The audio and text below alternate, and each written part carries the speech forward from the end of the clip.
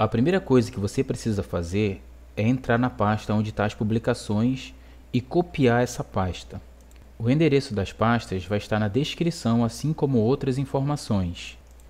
Essas pastas elas são pastas ocultas, então basta você colocar o um endereço lá em cima, appdata.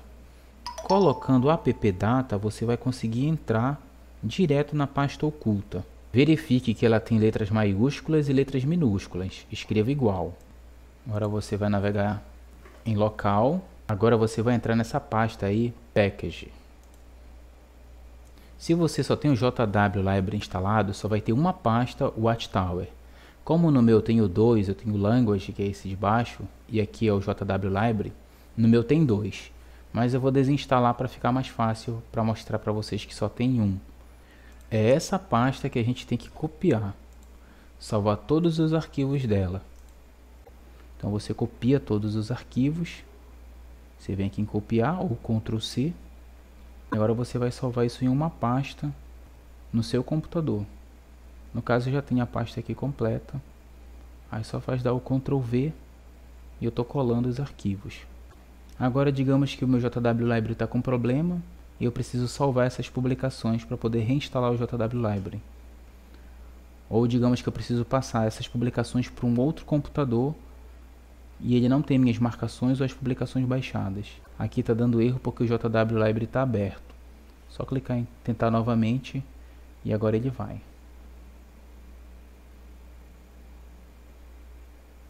Substituir os arquivos que já existem, que no caso eu estou fazendo de novo o que eu já tinha feito. No seu caso não vai aparecer isso porque você vai estar criando uma pasta nova na área de trabalho e jogando seus arquivos dentro dela. Pronto, então está aqui, está tudo salvo, fiz uma cópia das minhas publicações. E agora o que, que eu vou fazer? Vou desinstalar o JW Library. Esse é o endereço, eu vou deixar ali na descrição. E eu vou desinstalar agora aqui o JW Library. Ó, desinstalei, olha o que aconteceu, a pasta desapareceu. Aquela Watchtower não existe mais, só existe aquela outra que eu falei que tinha. Eu vou até remover para não atrapalhar aqui no vídeo.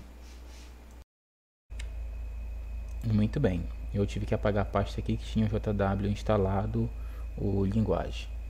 Certo, aqui é a pasta do backup que eu fiz e aqui é a pasta onde vai instalar os aplicativos e as minhas marcações, o, J, o aplicativo do JW Library. Então digamos que ele estava com problema, tive que desinstalar e instalar, mas antes eu fiz o backup dos arquivos de todas as publicações nessa pasta. E as minhas marcações também estão aqui dentro.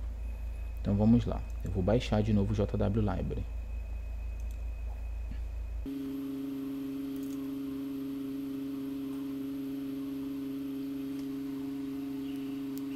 Foi mais rápido do que eu imaginava. Aí eu vou abrir o JW Library. E ele vai estar sem as publicações e sem as minhas marcações. Na questão das marcações, ele tem a opção para fazer o backup, que é aqui, ó. Você pode fazer backup ou restaurar o backup aqui, mas é só das marcações e anotações, não das publicações. E aqui eu vou baixar aquelas baixar as suas marcações que já foi feita e as publicações que você já baixou. Como é que eu vou fazer isso? Muito simples. Basta eu ir nesse endereço aqui, nesse endereço. E agora vou procurar aqui a pasta Watchtower e vou passar os arquivos que eu salvei antes do meu JW Library com problema para cá. Se eu quiser passar só as publicações, não dá certo. A pasta de publicações é essa aqui. Ó, aqui tem as publicações. Eu já fiz isso, peguei as publicações, passei para cá. A pasta publicações. Eu simplesmente joguei ela para cá. O que acontece? As publicações, elas estão aqui agora. Só que quando eu abro o aplicativo, elas não aparecem instaladas. Pode ver. O que, que eu preciso fazer? Eu preciso de uma pasta está aqui. Essa pasta data.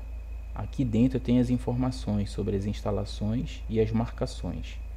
Eu vou abrir aqui a data e vou substituir. Vou pegar as daqui para cá. O que, que você precisa fazer? Você apenas precisa copiar essa pasta aqui para os arquivos dela, seu JW Library. Somente isso e aquela pasta publicações, as suas, as suas anotações, as suas marcações vão estar de volta no seu aplicativo.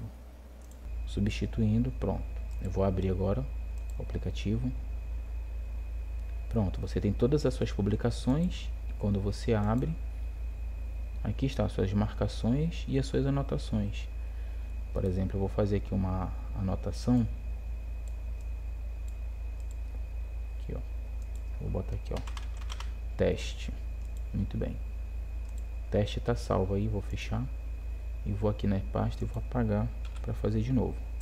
Vou abrir aqui o JW Library. Eu vou abrir aqui. O arquivo não vai estar tá mais aqui, ó. Tá apagado. Mas eu deveria ter feito o backup antes. Esses três para cá. Vai dizer que já existe. Pronto, agora eu vou abrir lá e vou botar o, de novo a, a anotação.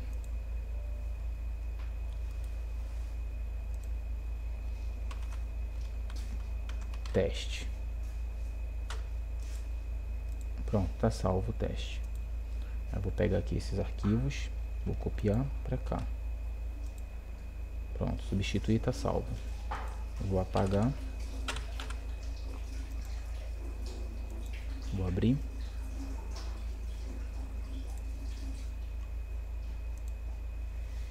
Não tem nada. Apagando. Ctrl C, Ctrl V.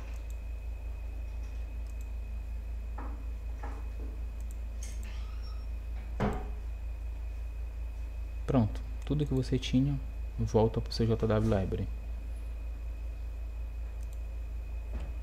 Certo, você fez o backup das suas, das suas publicações.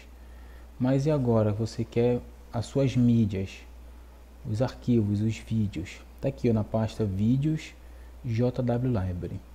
Você vai escolher abrir como. Aí você coloca abrir com JW Library. Ele vai importar aquele arquivo para cá. Aí pronto, automaticamente ele já vai aparecer aqui no seu JW Library. Mas se você quiser carregar vários arquivos, você tem que fazer assim. Você seleciona um arquivo, abrir como, aí você escolhe o programa padrão, escolhe o JW Library, marca essa caixinha e dá OK. Aí você vai marcar tudo que você quer e dá Enter. Ele já vai abrir automaticamente com o JW Library e vai estar exportado para cá todos os seus arquivos de mídia.